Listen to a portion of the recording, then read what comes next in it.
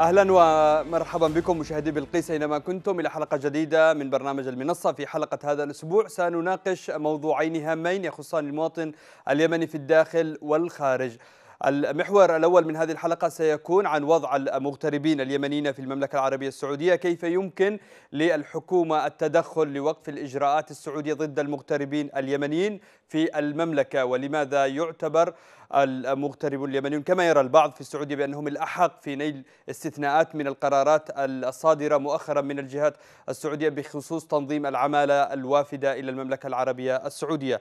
في المحور الثاني من هذه الحلقة سنناقش العلاقة بين إغلاق المنافذ البرية والبحرية والجوية وانتعاش السوق السوداء في داخل البلاد. هل يعتبر قرار إغلاق المنافذ مبرر حقيقي لانتعاش السوق السوداء. أم أن التجار والجهات الانقلابية يتخذون من هذا القرار حجة لممارسة فسادهم من خلال السوق السوداء للمشتقات النفطية والسلع والمواد الغذائية ويستثمرون ذلك. قبل البدء باستقبال اتصالاتكم ومشاركاتكم نذهب لمتابعة التقرير الذي عده الزميل عمر نهمي عن المحور الأول في هذه الحلقة.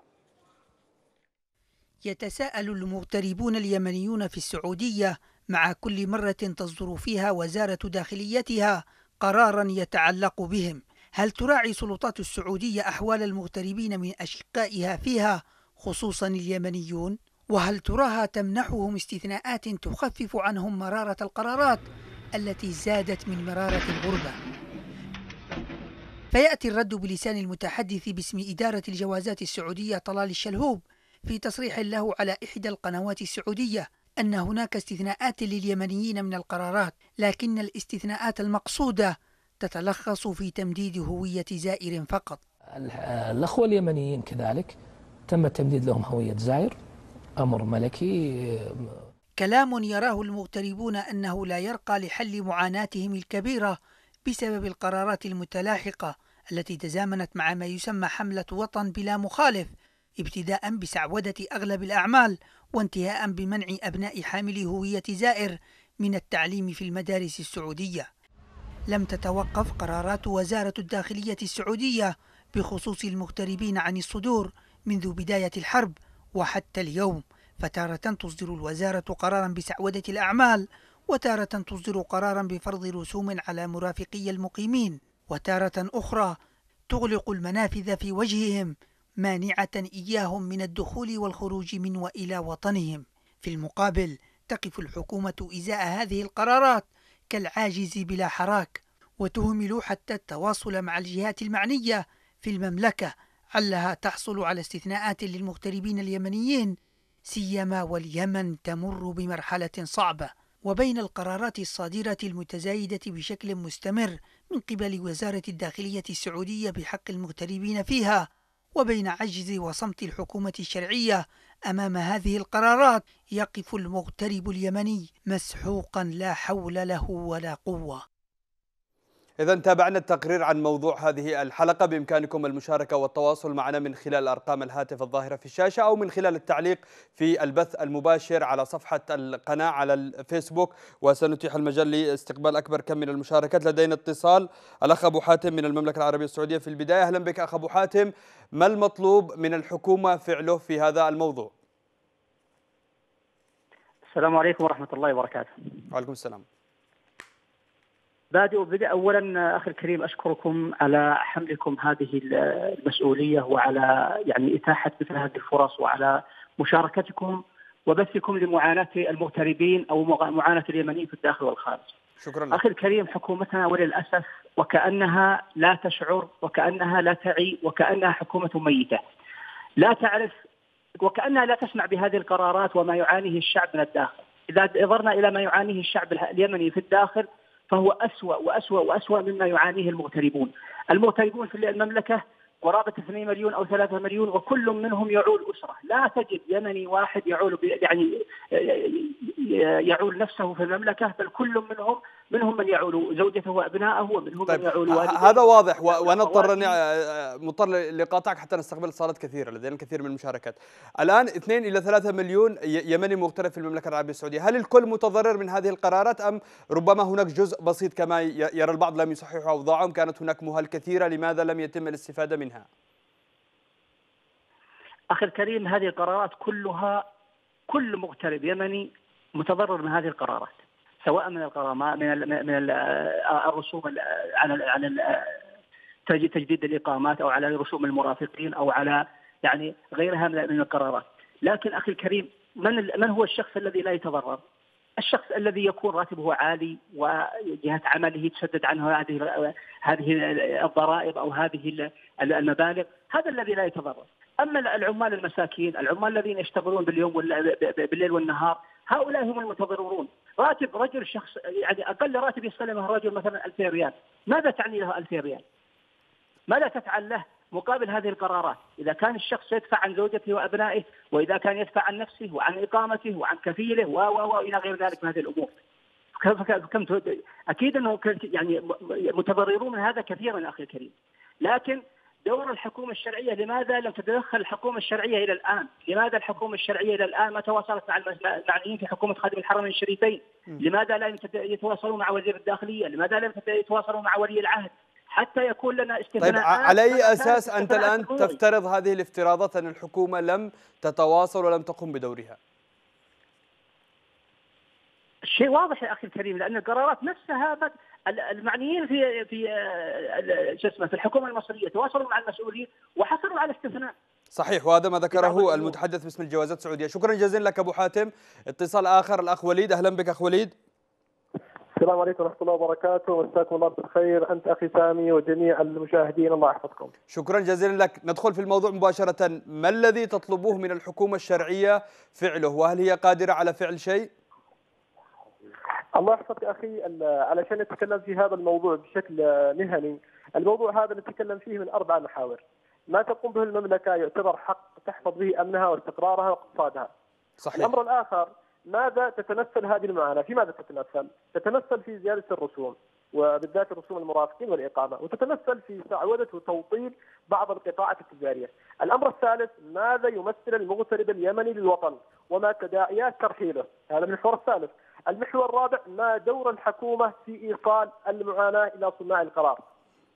طيب أنت الآن ربما شخصت ووضعت النقاط الرئيسية لهذا الموضوع الآن نعم. أي من هذه نعم. النقاط هي الأكثر ضرر بالمغترب اليمني والمطلوب من الحكومة التدخل ليكون هناك وضع استثنائي لليمنيين كل هذه أخي كل هذا اللي أتكلم عليه يا أخي الله يحفظك في مجمل طيب مثلا نقطة نقطة مثلا موضوع فرض الرسوم رسوم الإقامة ربما قد هذا قرار سعودي على جميع الوافدين والمقيمين داخل المملكة العربية نعم. السعودية، ربما. من الصعوبة مكان أن يكون هناك استثناء في هذه النقطة. طيب أخي الكريم آه، أستاذ ثاني يجب علينا انه اولا نوصف ما معنى مقيم، اليمني في المملكة العربية السعودية لم يعد مقيم بل نازح. صحيح. نازح لا مأوى له ولا وطن. إذا عملنا على هذا التوصيف فهنا يأتي اليمني ضمن استثناءات كبيرة جدا. ما حصل من استثناء لليمنيين من حكومة خادم الحرمين قبل مدة واستثناء 500 ألف مجهول وتصحيح أوضاعهم كانت خطوة جبارة وخطوه استثنائيه كان وراءها جهد كبير من الحكومة، لكن أين دور الحكومة اليوم؟ تمام. طيب شكرا جزيلا لك، اتصال آخر الأخ مسعود أهلا أخ مسعود السلام عليكم. وعليكم السلام. أخ مسعود آه، مشاركتك وتعليقك ما المطلوب من الحكومة فعله؟ والله المطلوب من الحكومة الناشد الحكومة مسله بخامة الرئيس عبد الرب منصور هذه بالنظر في أوضاع المخالفين الذي لا لديهم لا هوية زائر ولا إقامة رسمية. طيب هؤلاء المخالفين كانت هناك مهل كثيرة منحتها السلطات السعودية من أجل تصحيح أوضاعهم. لماذا لم يستغلوا هذه الفرصة ويصححوا أوضاعهم؟ أكثر من مهلة قدمت. طيب يصححوا أوضاعهم ويروحوا اليمن. وإيش يفعلوا في اليمن؟ ما قدامهم في اليمن للحوثي طيب ما هي الإجراءات التي وضعتها السعودية من أجل تصحيح الأوضاع؟ ولم وضعت استمارات ويعني أنتهت المهلة.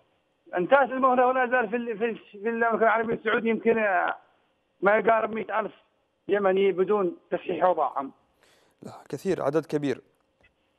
طيب الآن يعني بدأت الحملات والتفتيش وملاحقة المخالفين يعني كيف هو الوضع وما يعني ما الذي سيفعله يعني المخالفين هؤلاء؟ والله الوضع اليمني يلقي نفسه كيف ما سوى. طيب آه، في كأنه في أحد جنبك يعني من اصدقائك ممكن إنه يشارك تعطيه التليفون يشارك يقول وجهة نظره. والسلام عليكم ورحمة الله وبركاته. وعليكم السلام اسمك الكريم أخي؟ سعيد. سعيد. أخ سعيد مشاركتك وتعليقك في الموضوع. كنت أسمعك أنا كأنك يعني ت- ت- ت- تريد إيصال رسالة من خلال صديقك الذي كان يتحدث. تفضل. والله يا أخي أنا ودي أوجه رسالة من شأن حين يقولوا الواحد لازم يجلس عند يقعد عند كفيلة. لأن في هوية زاير الكفيل حقك يكون يمني. فين تروح تقعد معه في في العزبة حقه ولا وين؟ يعني إن آه، نناشد آه، فخامة الرئيس عبد الرب منصور هادي بوجهة النظر إلى المغتربين إن يبقى يمدد طيب أخ سعيد فقدنا الاتصال. اتصال آخر.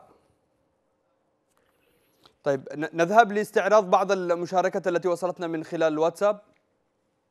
أنا أقول أن المخول بتبني قضية المغتربين ومراجعة القيادة السعودية هم قيادات الشرعية. المغتربون الآن يقومون بدور ينبغي أن تقوم به الشرعية نفسها. نفسها المغتربون الآن يحملون على عاتقهم آه، سد عجز الشرعية وفشلها. يقومون بمواجهة ال- الأوضاع الكارثية في الجانب الاقتصادي ويواجهون خطر مجاعة يمكن أن تع- أن تعصف بالشعب اليمني بكامله. لذلك ينبغي على قيادة الشرعية أن يقوموا بدورهم وأن يطرقوا أبواب ال- ال- القيادة قيادة ال- ال- القادة وأصحاب القرار في المملكة العربية السعودية للتراجع واستثناء اليمنيين من من هذه القرارات. مشاكل المغتربين بالخارج. اولا لا يوجد إحصاء رسمي دقيق بعدد المغتربين بالخارج. ثانيا مشكلة التستر التجاري. معظم اليمنيين يمتلكون أموال يمتلكون عقارات يمتلكون محلات لا يستطيعون تسجيلها بأسمائهم. مما يسهل عملية الابتزاز يسهل عملية النصب يسهل عملية آه، سرقتهم من قبل أرباب العمل من قبل الكفلاء. آه، المشكلة الثالثة آه، مشكلة البلاغات الكيدية.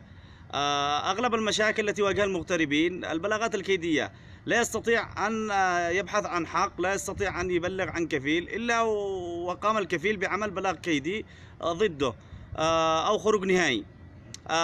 عندما يتم استدعاء القنصلية أو السفارة آه، لكي تنصف أو تقف مع ال- ال- المغترب لا يجد آه، أي آذان ص- صاغية.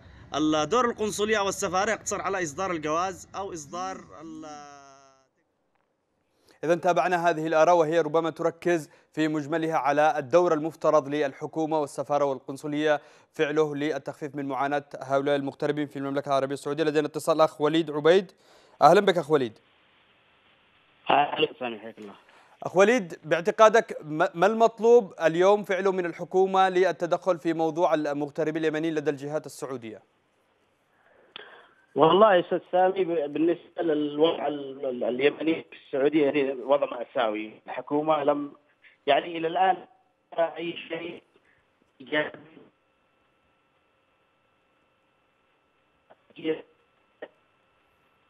أخ وليد يبدو هناك إشكالية في التواصل. ألو؟ تسمعني وليد؟ وليد؟ صوتك يتقطع يعني لو تقف في مكان يكون فيه تغطية أوضح. طيب من خلال فيسبوك أيضا وصلتنا بعض المشاركات حول هذا الموضوع نستعرضها. الأخ طاهر يقول الحكومة اليمنية لم تستطيع وقف الضر- الضربات التعسفية التي تقوم بها طائرات المملكة ضد مواطنيها في الداخل. فكيف ستقف مع المواطنين في الخارج؟ من وجهة نظري حكومتنا عاجزة عن القيام بأي دور اتجاهنا في الداخل والخارج. مشاركة أخرى.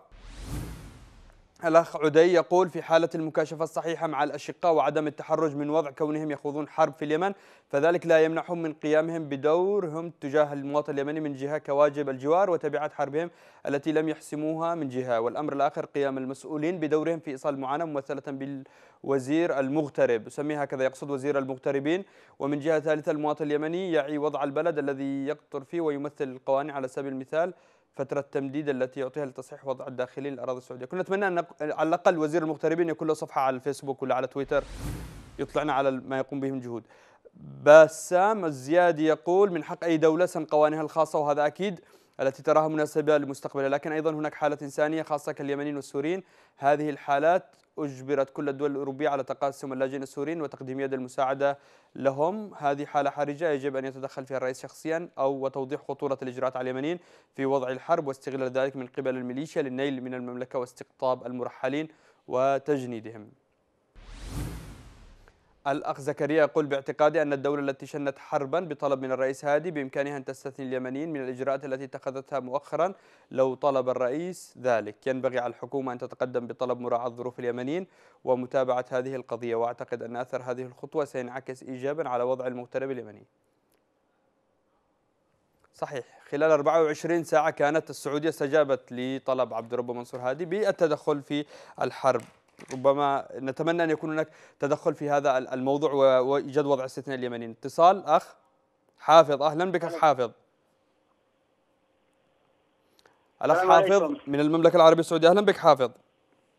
هلا بك والله حياك. حافظ كثير من المهل قدمت لليمنيين. لماذا لم يتم استغلال هذه المهل؟ وهل كان هناك إمكانية للاستفادة منها؟ وربما التقصير هو من جانب المغتربين؟ أخي الكريم بعد المهله اللي قدموها حق تصحيح هوية زائر كثير من اليمنيين دخلون بعد المهلة اللي أعطوها بعد هوية زائر اللي أعطوها لبعض اليمنيين، في كثير يمنيين بدون هوية زائر بدون إقامة بدون أي شيء. يعني دخلوا بالفترة هذه أثناء الحرب. تمام. طيب وين يروح الوضع؟ يعني العدد الكثير منهم وين يروحون في الفترة هذه؟ تدري عندنا البلد حرب ومشاكل و لأنه كان المقصود بتصحيح الوضع أنهم يغادروا المملكة العربية السعودية ومن ثم يعودوا مرة أخرى. وين يغادرون؟ على وين يغادرون أصلا؟ كيف أنت تعرف الوضع عندنا مرة تعبان؟ وأيضا يعني على الأخير وين؟ وأيضا لا يوجد لا قنصلية ولا سفارة سعودية داخل الاراضي اليمنية حتى يذهبوا إليها ويكملوا إجراءاتهم ومعاملاتهم لكن هناك حافظ الوضع الوضع مطلوب يعني من الحكومة الشرعية ان تتدخل في الموضوع سواء في المقيم أو الزائر أو اللي بدون إقامة. طيب بالنسبة اللي استفادوا من المهلة وصححوا أوضاعهم ما الذي فعلوه والله البعض منهم يعني نقل كفالة على مؤسسات وعلى شركات صار يشتغل والبعض الآخر لسه زي ما هم يعني على إقامة زائر يعني لسه باقيين على إقامة زائر معاهم لسه ما عدلوا أوضاعهم للأخير.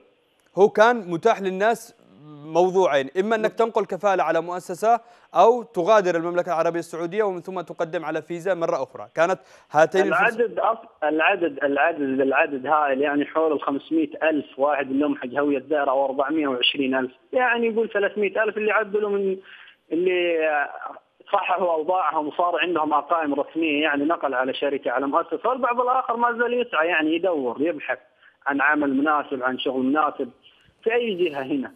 طيب آه حافظ بشكل مختصر الآن هناك حديث عن أن رسوم الإقامة ربما مبالغ فيها وكثيرة المفروض الآن بحسب القوانين والإجراءات الأخيرة السعودية المتوسط كم المطلوب من الفرد أن يدفع للسلطات السعودية في السنة كرسوم إقامة؟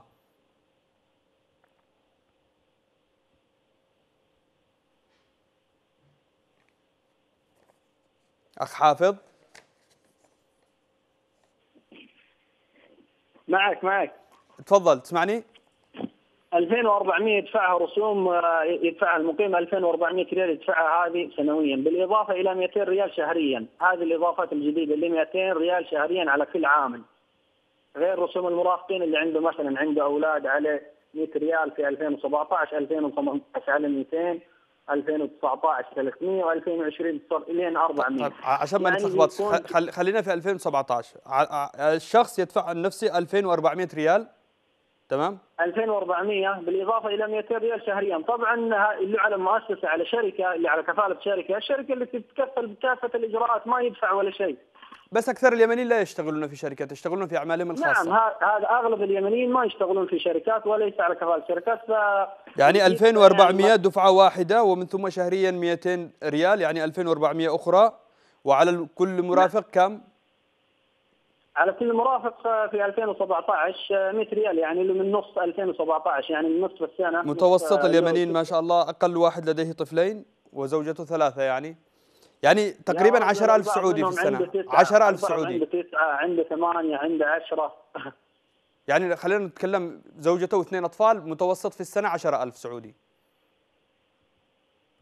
آه يعني زي كذا يعني 10000 بالحدود هذه يعني 10000 والله يعني شكلهم بيدفع في 2018 في 2018 الرسوم اللي كانت في 2017 100 ريال إذا جاء 2018 تجي تجدد الإقامة يطلب منك رسوم المرافقين على كل فرد عندك 200 ريال آه، 200 ريال على كل ولد و200 ريال على الزوجة غير ال- الرسوم اللي أنت تدفعها عليك المؤسسة كم كم. تقريبا عدد المغتربين اليمنيين في المملكة العربية السعودية؟ والله مع الحرب والمشاكل أحس كأن الشعب اليمني غادي كله هنا يعني خلينا نحسبها الآن نستخدم الح... لو قلنا 2 مليون مغترب لا أكثر أك- أكثر خليهم اثنين. أكثر من خليهم 2 مليون نضربهم في 10000 سعودي في السنة والله مش يعني طلع المبلغ كبير يعني 2 مليون 6 أصفار و10000 3 أصفار 2 و9 أصفار كم يا حافظ؟ يا أخي الكريم يا يعني الكريم، مبلغ كبير يا نطالب- أخي. حنا نطالب نطالب من الحكومة الشرعية إنها تتدخل في وضع اليمنيين حتى سواء في الإجراءات في المقيم أو مليار. أو اللي بدون إقامة طيب 9 9 مليار سعودي تقريبا. لو حسبنا 2 مليون مغترب داخل السعودية يدفعون 10000 ريال سعودي في السنة رسوم إقامة. 2 مليار ريال سعودي يعني تقريبا السعودية فاتورة الحرب رجعتها من رسوم المغتربين وهذا المبلغ يا أخي تقريبا الكريم أخي الكريم بالنسبة للرسوم هذه الرسوم هذه على جميع الوافدين في المملكة صحيح العربية صحيح. لكن لكن اليمني الآن أنت حنا تعرف حافظ حافظ حافظ الحرب المصدر. الوحيد للعملة الصعبة التي يدخل للبلاد هي عائدات وحوالات المغتربين إلى أهاليهم في الداخل لم يعد هناك لليمنيين أي مصدر آخر ربما رواتب متوقفة ربما أكثرهم مغتربين في المملكة العربية السعودية. الآن المطلوب أن السعودية تسن القوانين والإجراءات المطلوبة والتي تحافظ من خلالها استثناء على أخي بلدها. نطلب استثناء فقط لليمنيين. استثناء لليمنيين أثناء فترة الحرب فقط لين يخلص الحرب بعدين عادي يصير وضعنا زي وضع غيرنا عادي.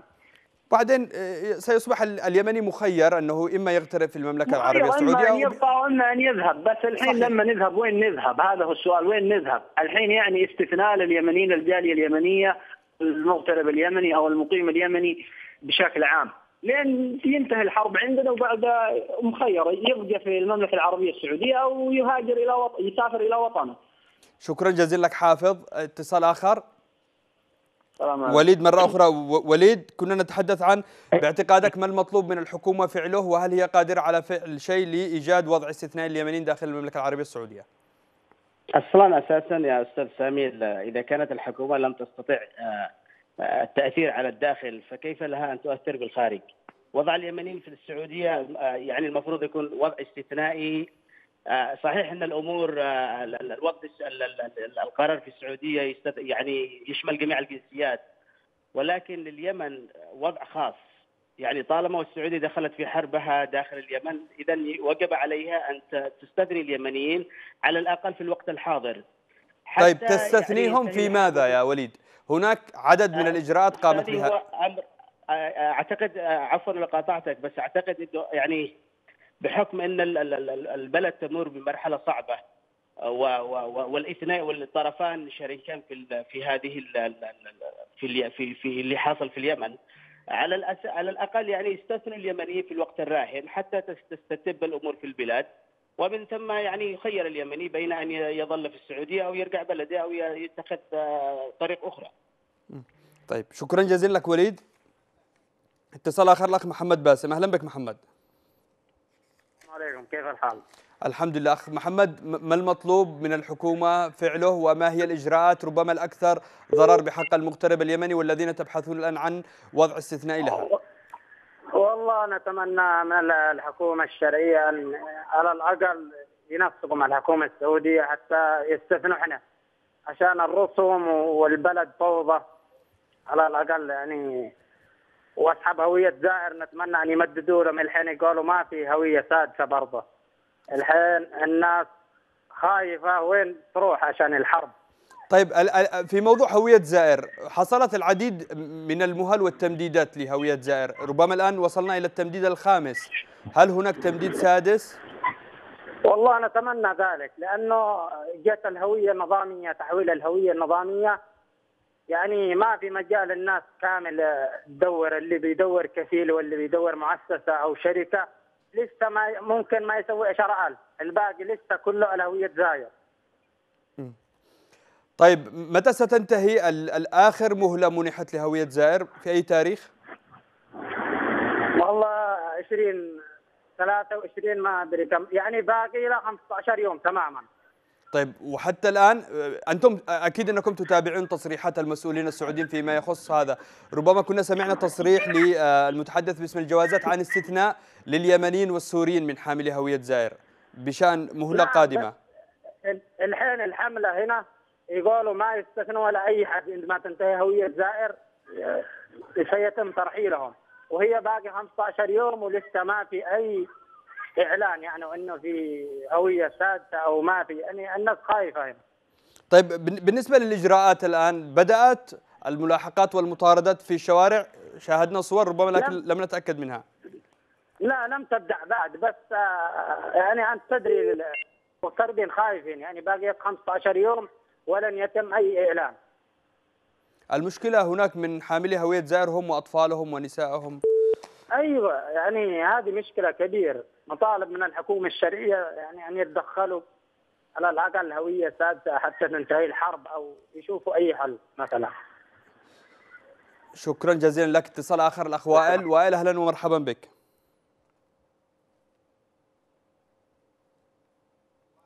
وائل. و اتصال آه، الأخ فيصل. فيصل أهلا بك. أهلا وسهلا بك. أهلا وسهلا بك أخ فيصل. فيصل الآن آه، ربما هناك فئات للمغتربين اليمنيين داخل المملكة العربية السعودية والضرر يتوزع ما بينهم من ناحية آه، التأثير. آه، اليوم من هي أكثر فئة متضررة من هذه الإجراءات والمطلوب إيجاد حل سريع لها؟ مرة ثانية بالله لو سمحت السؤال الآن هناك فئات ربما مصنفة عديدة داخل المملكة العربية السعودية من المغتربين اليمنيين هناك حاملي هوية زائر والمقيمين بشكل رسمي ونظامي لكن هناك العديد من الإجراءات اتخذتها المملكة العربية السعودية منها رسوم الإقامة ربما وأيضا نقل الك- الكفالة والإجراءات الأخيرة. فأي من هذه الفئات هي المتضررة الأكثر والمطلوب إيجاد حل لها سريع واستثناء؟ بالأكيد يعني ال- ال- النازحين هم أكثر متضررين يعني بغض النظر عن الموضوع معهم إقامات أو ما أو عايشين آه، ب- بصفه رسمية. آه، الوضع وضع بشكل عام وضع المغتربين في المملكه العربية السعودية وضع مزري آه، بسبب التكلفة ال- ال- حق الاقامات أو تكلفة حق الأقارب. أنا أنا أحمل الحكومة الشرعية صراحة وأحمل وزير المغتربين لأنه لم يقدم أي شيء لل- للمغتربين بشكل عام.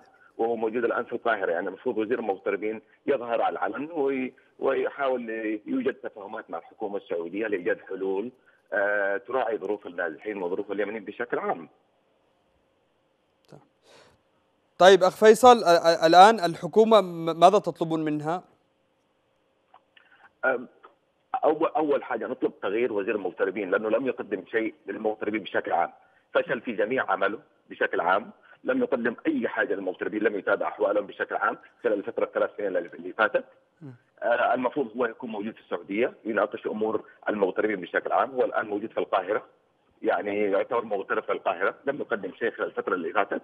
المفروض يكون هناك اجتماع جديد لوزارة المغتربين لإيجاد حلول مرضية للمغتربين وتفاهمات مع الحكومة السعودية. بالنسبة للوزير والله آه، نحن حاولنا نتواصل معه كثيرا. ما قدرناش نوصل لوزير المغتربين. حتى لا توجد لديه لا صفحة فيسبوك ولا صفحة أنا- تويتر ولا أنا أنا أوضح لك حاجة. أنا رئيس جاليه في بريطانيا. وزير المغتربين لا يوجد له علاقات مع الجاليات بشكل عام في العالم بشكل عام. نحن على أمام امام محنة كبيرة بالنسبة للمغتربين في السعودية. وزير المغتربين لم يقدم أي شيء للجاليات لم يقدم أي شيء للمغتربين. لا يوجد علاقات ما بين الجاليات ووزير المغتربين خلال الثلاث سنوات الأخيرة.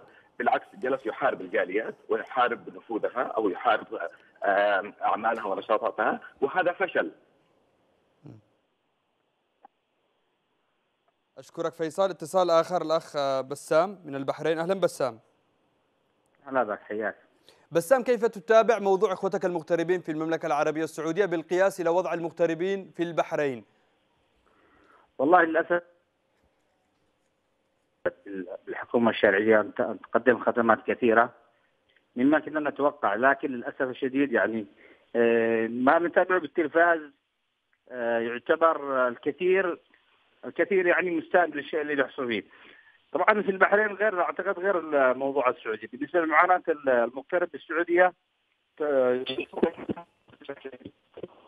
من ناحية إحنا تواصلنا مع السفاره ال- ال- ال- اليمنية في البحرين يعني ما بيدهم أي شيء. حتى إذا عندك قضية أو أي إشكال يتعاني فيها صعب إنك إن السفاره تعمل لك أي حل. ما في أي حلول.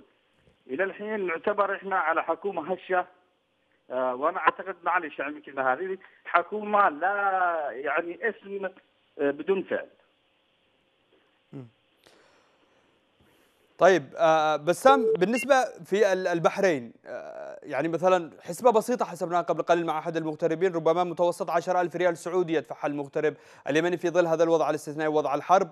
كرسوم إقامة. الوضع في البحرين وترتيب وضع المغتربين آه، كيف هو الوضع؟ هل هو أصعب أم ربما الأمور ميسرة أكثر من ما هي في المملكة العربية السعودية؟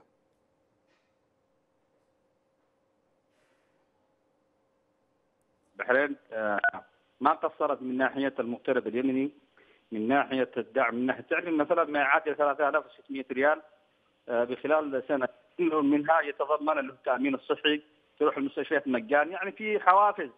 أنا أتكلم أنا بالنسبة للحكومة لحكومه البحرين ما قصرت لكن إحنا عندنا في معاناة أحيانا نواجهها في معاملات آه، تخصنا كمستثمرين في البحرين أو تخصنا في دول الخليج أو في أي دولة. آه، لكن إحنا آه، نتمنى أن يكون لدينا حكومة نتكى عليها في في محننا برا. تمام. شكرا جزيلا لك بسام. من ال- المشاركات يعني كثير من المشاركات وصلتنا من من ال- خلال البث المباشر على الفيسبوك سأحاول استعراض بعض منها. الأخ محمد حمد يقول يا أخي الكريم هنا من هم من فئة هوية زائر لا يستطيعون تحويل الهوية إلى إقامة نظامية بسبب قضايا سابقة آه،. لم يتح لهم فرصة تصحيح أوضاعهم المشاركة أخو يعني مشاركة قبل في كثير مشاركات فما استطيعش أقرأ الكل الأخ حسين الأديمي يقول نحن نعترض على القانون لأن المملكة من حقها أن تتخذ ما تراه في البلاد وفي مصلحتها والاستثناء بعد القرار جائز للمملكة حسب ما تراه طيب آه الأخ إبراهيم يقول يجب تغيير وزير المغتربين. بإمكانكم عمل حملة على وزير المغتربين حتى على الأقل يستجيب ويتفاعل.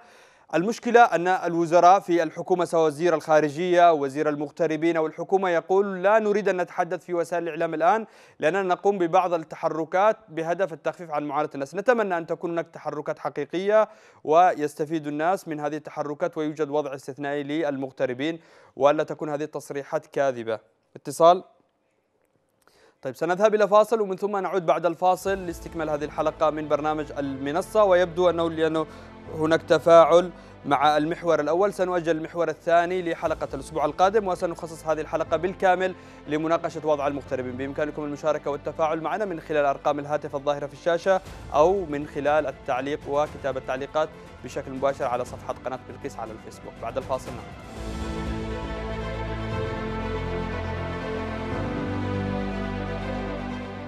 من جديد إذا عدنا معكم في هذه الحلقة والتي سنخصصها بشكل استثنائي وأجلنا المحور الثاني للحديث عن موضوع المغتربين. ما المطلوب الآن فعله للمغتربين؟ ينضم إلينا من المملكة العربية السعودية الناشط والباحث في آه، المهتم أقصد بشؤون المغتربين الأخ سلمان الشريف. أهلا بك سلمان.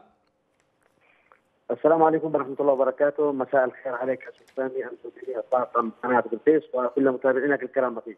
أشكرك. سلمان نحن عدمنا وسائل التواصل مع مسؤولي الحكومة وأيضا مع المسؤولين السعوديين. لو تضعنا الآن أمام آخر التطورات في موضوع المغتربين السعوديين يتحدثون عن استثناءات ربما سمعنا تصريح أخير للمتحدث باسم الجوازات السعودية المقدم طلال الشلهوب. هل هذه الاستثناءات حقيقية؟ وهل يمكن أن تخفف من معاناة المغتربين؟ وهل فعلا هناك استثناءات؟ وبالنسبة للحكومة والمسؤولين هل يتحركوا ويتابعوا هذا الموضوع أم لا؟ بالنسبة لي أنا سأضعك على الواقع بحيث ما عندي من اطلاع وما عندي من إيمان بالمعلومات، بالنسبة لحملة سلطان بلا مخالف، أتت حملة سلطان بلا مخالف آه، تعتبر ملزمة من حكومة المملكة العربية السعودية لكل المقيمين داخل المملكة العربية السعودية بأنهم مخالفين لنظام الإقامة. امتدت الحملة إلى ثلاثة أشهر ثم شهرين ثم شهر إضافة، تمام؟ فللأسف الشديد غياب الجانب التوعوي من قبل سفارتنا ومن قبل القنوات الإعلامية لم يتم التوعيه للمغترب اليمني. للأسف الشديد الآن نحن نتكلم من جانب يعني من أجل يعني لكي نعرف الخطأ الخطأ والصح. آه الخطأ الذي وقع وقع أن الأغلبية لم يصح وضعه في عملة سلطان بلا مخالف. تصحيح وضع المقيم اليمني هو معناه ان تحمل مدى كبيره وبالميزه المخصصة لك. حتى لا تأتي السلطات السعودية في الحملة الأمنية التي بدأت الأيام السابقة بالاطاحه بكل من هو مخالفين لنظام الإقامة، أيضا اتت حملة بما وطن بلا مخالف لمن ليس لديهم قائمه نظامية أو ممن دخلوا المملكة العربية السعودية بطريقة غير رسمية أو من دخلوا عضو عضو وحج وعمرة ولم آه، يجددوا أو لم يقوموا بشكل نظامي بامكان المغادرة والعودة بشكل رسمي. اتت المعوقات هنا أنه كان لا يوجد سفارة للمملكة العربية السعودية في اليمن طالبنا وتم افتتاح مكتب داخل جدا إنها معاملة اليمنيين والمكاتب شغالة في صنعاء وعدن. أتت معوقه أخرى للمغترب اليمني من يريد أن يستفيد من حمله وطن بلا مخالف أن البعض منهم لديهم بصمات والبعض لديهم سوابق لا يستطيع العوده. ما اكتشفوها إلا بعد ما سافر اليمن والبعض منهم اشترى تأشيرة واعيدوا من المطارات ومن المنافذ، للأسف الجوازات السعودية لم توثق هذه النقطة. فلذلك كنا نتمنى أن يكون أراد أن يخرج حمله وطن بلا مخالف بشكل رسمي أن يأتي ويعامل ويدخل بطريقة نظاميه، لكن للأسف منعتهم البصمات ومنعتهم المعروفات، أيضا عندما نتكلم عن حاملين هوية الزائر ويتكلم الاخ الذي كان قبل قليل يقول أنه يتم اعتقال حاملين هوية الزائر. للأمانة السلطه السعودية وضعت برنامج لحاملين هوية الزائر.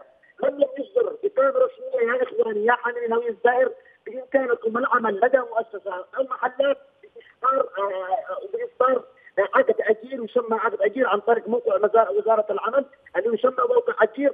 بهذه الطريقة تكون نظامي.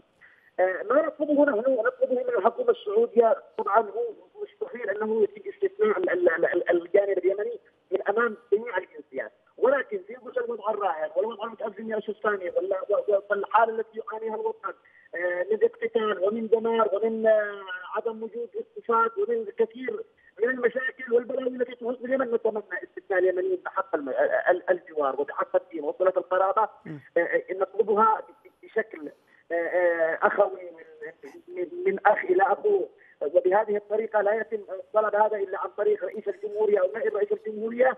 يتم لقاء الملك سلمان أو نائب ولي العهد اللواء علي محسن الأحمر.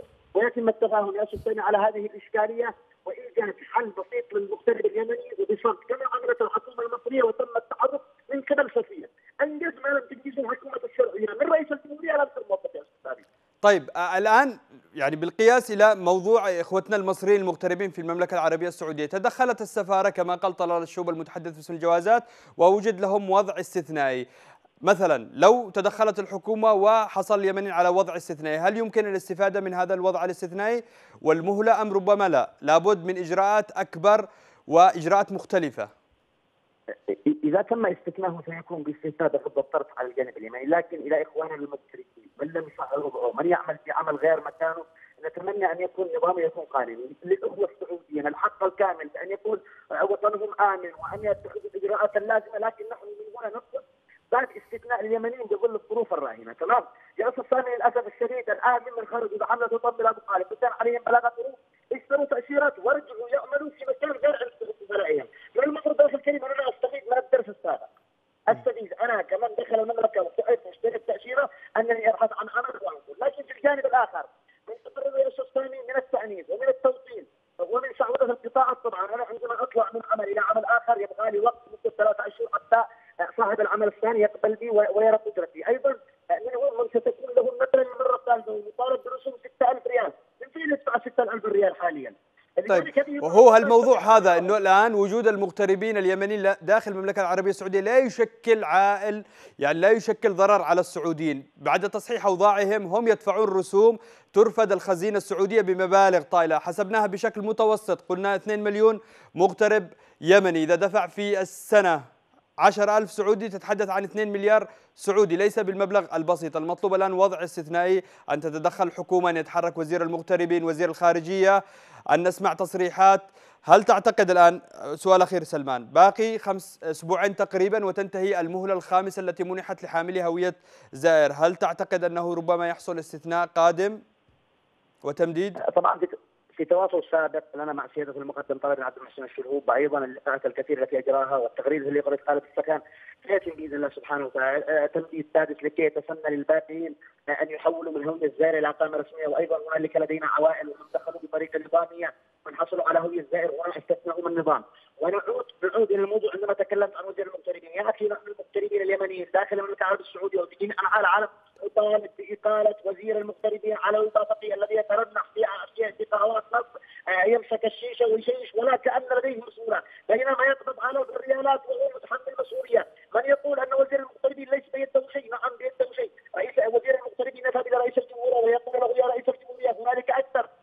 قرابه مليون مغترب داخل المملكه يطالبون بايجاد حل لهم اين دور وزير المغتربين؟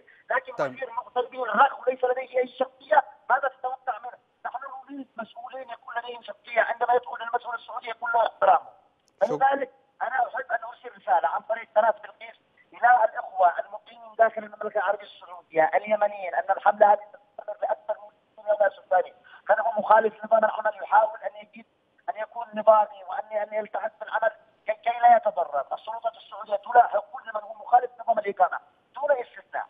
اي واحد مخالف نظام الاقامه يتم اعتقاله اذا اصدر طيب. منها اجراءات التنفيذ. شكرا لك سلمان الشريف الناشط والمهتم بشؤون المغتربين من السعودية. شكرا لك أشرف الشعيبي من السعودية. أهلا بك أخ أشرف. أخ أشرف أهلا ومرحبا بك.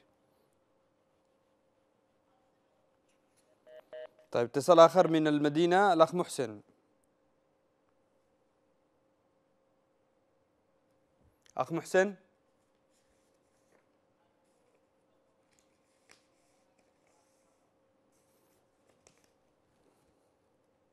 طيب من المشاركات التي وصلتنا من خلال البث المباشر الأخ مصلح أحمد حيدر يقول نطالب باستقالة وزير المغتربين. آه عوض يتساءل ماذا عن المغتربين المجهولين؟ آه صالح جبار يقول نطالب باستثناء. لا رب- ربي يفرجها على اليمن. آه الحكومة السعودية ما قصرت. منتظرة حد من حكومتنا النائمة المطالب بحل لوضعنا. آه صالح جبار نطالب باستثناء للمغتربين. كثير من التعليقات. الأخ فاروق الدماري يتحدث عن مشكلة ربما أن البعض لم يستلم جواز سفره من السفارة اليمنية حتى يبدأ بإجراءات تصحيح. البشير الذبحاني المملكة العربية السعودية لها الحق في إصدار قوانينها وتطبيقها ونحن ما نطلبه من الإخوة في المملكة استثناء اليمنيين كون اليمن في حرب وخراب والمغترب آه، الخارج من المملكة لا يمكن أن يحصل على أي عمل في اليمن وسيكون عبء على الأسر. الأخ فاروق الدماري ي- هو كان يتحدث عن عدم الجواز. حصوله على الجواز وبالتالي تعرقلت المعاملات. محمد حمد أحمد يطالب وزير المغتربين بالاستقالة فورا. هو آه، المطلوب توضيح من وزير المغترب- المغتربين ويضع الناس في الصورة ما هي الجهود والتحركات التي يقوم بها. لأن الآن ربما كل التوجه والحملة على وزير المغتربين متهم بالتقصير. الأخ مصطفى يقول الذين دخلوا بشكل رسمي وحصلوا على هوية زائر لماذا لا يعمل لهم إقامة؟ طيب الأخ أبو شيخ يقول المشكلة في الرسوم وعددها. طيب عن وصلنا إلى نهاية هذه الحلقة. حاولنا التركيز من خلالها وإيصال صوتكم والتركيز على المطلوب من الحكومة فعله للتخفيف من معاناة المغتربين اليمنيين بعد الإجراءات الأخيرة التي اتخذتها المملكة العربية السعودية والتي نجمع جميعا أنه من حق المملكة العربية السعودية اتخاذ ما تراه مناسبا لكن الآن السعودية تشارك في حرب في اليمن فلا بد من وضع استثناء لليمنيين الذين باتوا في المملكة. ليس من باب الرفاهية وإنما نازحين ومطاردين من بلادهم. وصلنا إلى نهاية هذه الحلقة من برنامج المنصة. نشكركم على التفاعل ومتابعة هذه الحلقة. نلتقيكم الأسبوع القادم. في الختام تحية طاقم البرنامج ومعد البرنامج الزميل عمر في